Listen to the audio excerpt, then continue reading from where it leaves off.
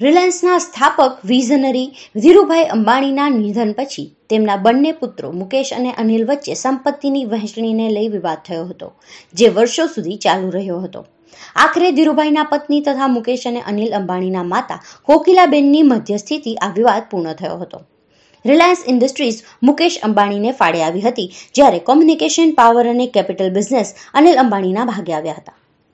સમય જતાં મુકેશ અંબાણીએ ચોતરફી પ્રગતિ કરી, જ્યારે અનિલ અંબાણી દેવાળિયા થઈ ગયા છે.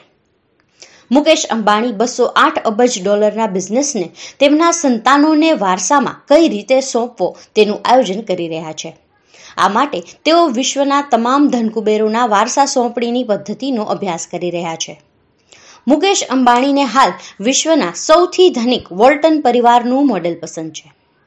વોલમાર્ટના સ્થાપક સેમ વોલ્ટનના મૃત્યુ પછી વોલમાર્ટના બિઝનેસનું સંચાલન મોડલ મુકેશ અંબાણીને આકર્ષી રહ્યું હોવાની ચર્ચા છે. ઉપરાંત, તેઓ પરિવારની સંપત્તિ એક ટ્રસ્ટમાં પરિવર્તિત કરવા માંગે છે, જે ટ્રસ્ટ દેશની સૌથી મોટી કંપની રિલાયન્સ ઇન્ડસ્ટ્રીઝને નિયંત્રિત કરશે. આ ટ્રસ્ટમાં મુકેશ અંબાણી, તેમના પત્ની નીતા અંબાણી તથા ત્રણ બાળકો, અનંત, આકાશ અને ઈશા ઉપરાંત પરિવારની નજીકના લોકો સામેલ થશે. જો કે અત્યારે તો આ બધી અટકળો જ છે.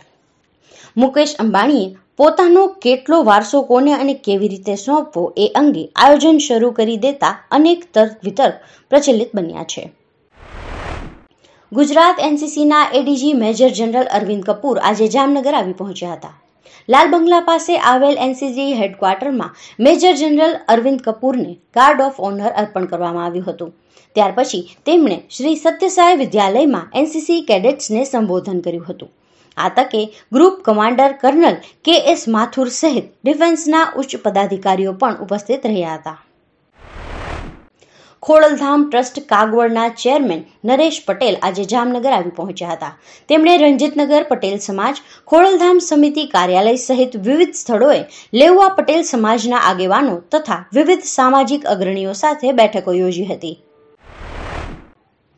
સ્પેનમાં ઇન્ટર પાર્લામેન્ટ યુનિયન સેશન યોજાવાનું છે, જેમાં ભારતનું પ્રતિનિધિત્વ કરનારા સાંસદોમાં હાલારના સાંસદ પૂનમબેન મેડમની પણ પસંદગી થઈ છે, જેને પગલે જામનગર અને દેવભૂમિ દ્વારકા જિલ્લાના ગૌરવમાં વધારો થયો છે. તેઓ આ કાર્યક્રમમાં ભાગ લેવા માટે સ્પેન જવા રવાના થયા છે.